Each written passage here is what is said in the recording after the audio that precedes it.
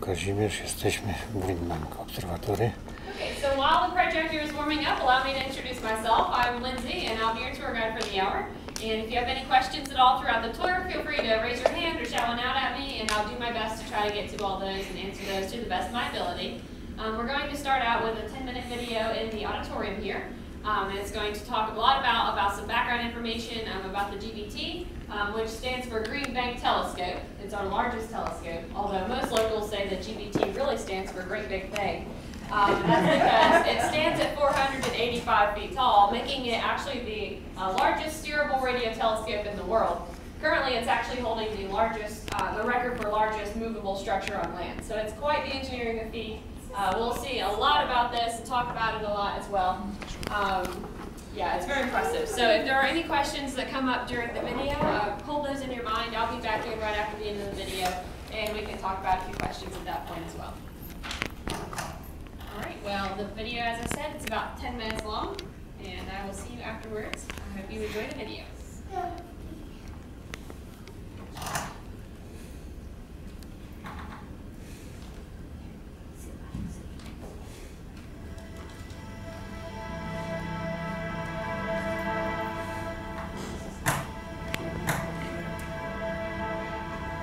Faint band of light is the Milky Way, and running along it is a pattern of stars that form a cross. That's Cygnus the Swan. The head of the swan is a star called Albireo, and the tail is Deneb. See if you can find Albireo with the telescope, Jason. The night sky makes us wonder about the universe and our role in it as human beings. How were stars and planets created? How old is the universe? Is there life beyond our solar system? Astronomers from all over the world use the Green Bank telescope to find some answers. While optical telescopes give us an enhanced view of the visible universe, radio telescopes provide a deeper look at the cosmos. Telescopes at the National Radio Astronomy Observatory capture and measure radio waves that are invisible to the human eye.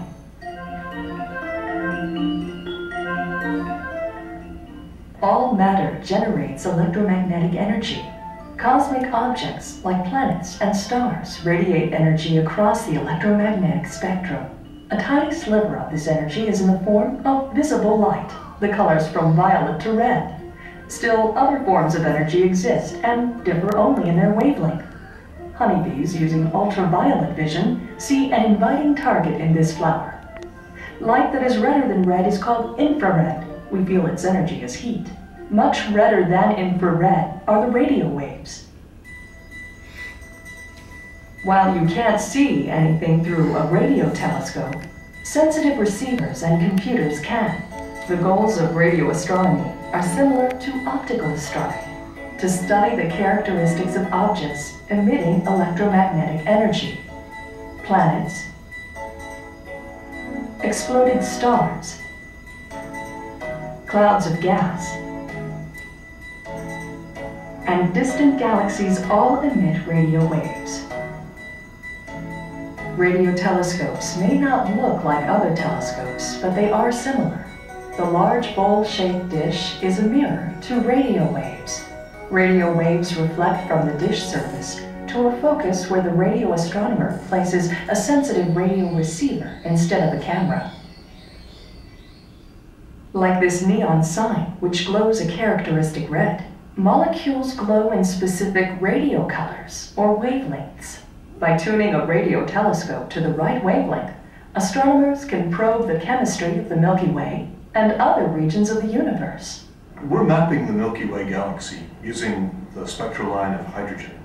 With, with radio waves, we can tell what things are made of by their different spectral lines. And hydrogen is one of the most common atoms in the universe. It's one of the simplest atoms. And it has a, a spectral line with a wavelength of 21 centimeters, a typical radio wavelength. Mapping the hydrogen in the Milky Way has led astronomers to conclude that we live in a spiral galaxy, out in the galactic suburbs on a spiral arm. Radio astronomers have also peered into dark clouds where new stars are being formed.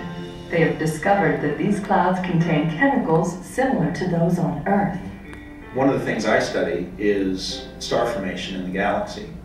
And the regions that I like to look at are regions that are deep inside of molecular clouds. These regions are completely obscured optically. So if you were to point an optical telescope at some of these regions, you would just see blank sky. You wouldn't see anything at all. Whereas a radio telescope will see deep down into those clouds because the radio waves don't get absorbed by the gas in the same way that the optical waves do. So you can see regions of space, you can see regions of the galaxy that you can't see with an optical telescope.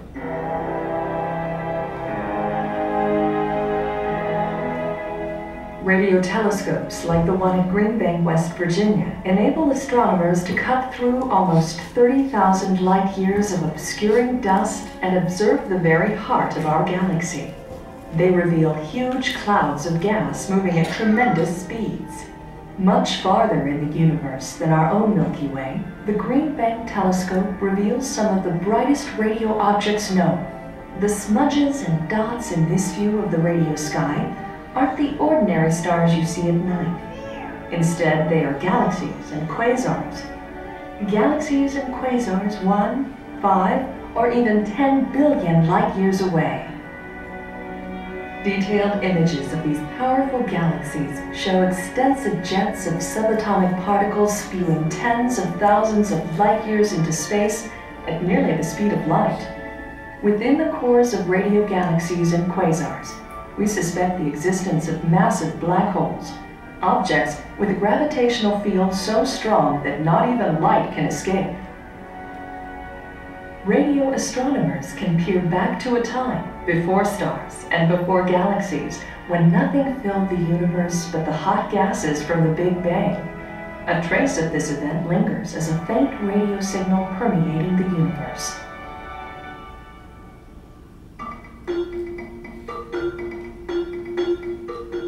The Green Bank telescope may remind you of your TV satellite dish, but the GBT is millions of times more sensitive to incoming radio waves than your home electronics equipment. Imagine tuning in a typical radio station 10 miles away. The signal you receive will be only a few thousandths of a watt, but the Green Bank telescope detects radio waves from space that are a billion billion times weaker. Weak because of vast distances they travel. Since radio waves from space are such weak signals, astronomers need large, very sensitive telescopes like the one at Green Bank to catch the waves. Just as a bigger bucket collects more raindrops, bigger radio telescopes collect more radio energy and can see farther. Its 100 by 110 meter steerable dish has an area of 2.3 acres. That could easily hold a football field. Weighing in at 17 million pounds and 485 feet tall, the GBT is the largest moving structure on land. Despite its size, the Green Bank telescope is incredibly accurate. The telescope can be pointed with an accuracy of one arc second. That's like being able to see the individual pepperoni on a pizza from three miles away. The telescope is designed to study radio waves ranging from 3 meters in wavelength to a tiny 3 millimeters in wavelength. In order to detect these smallest of radio waves, the surface of the Green Bank telescope must be perfect. Extremely sensitive lasers scan the surface and provide data to 2,000 motors that position the reflector panels to a precision of one-tenth of a millimeter. That's smaller than the period at the end of a sentence.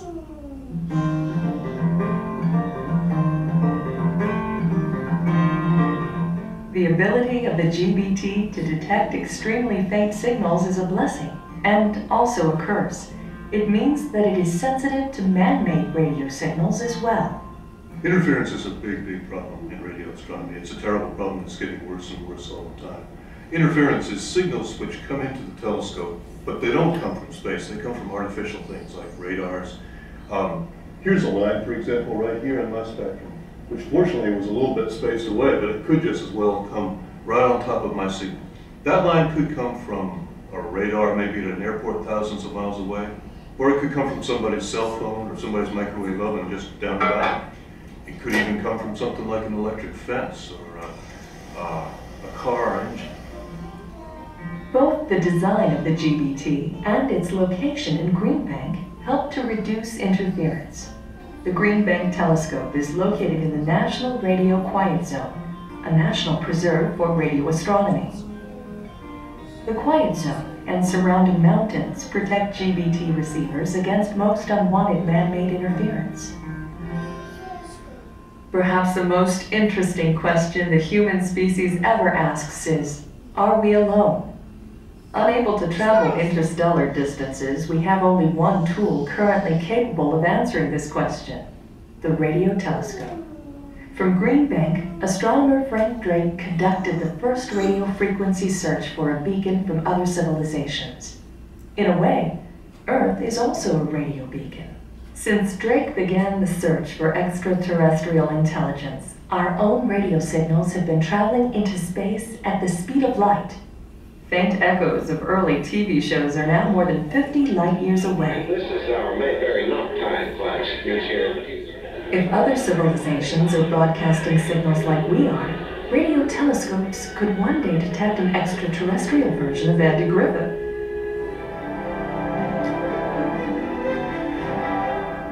The search continues. Armed with groundbreaking technology, astronomers at Green Bank continue to make spectacular discoveries as they gaze ever deeper into space. The Green Bank Telescope, reaching new frontiers. From the solar system to the edge of the universe.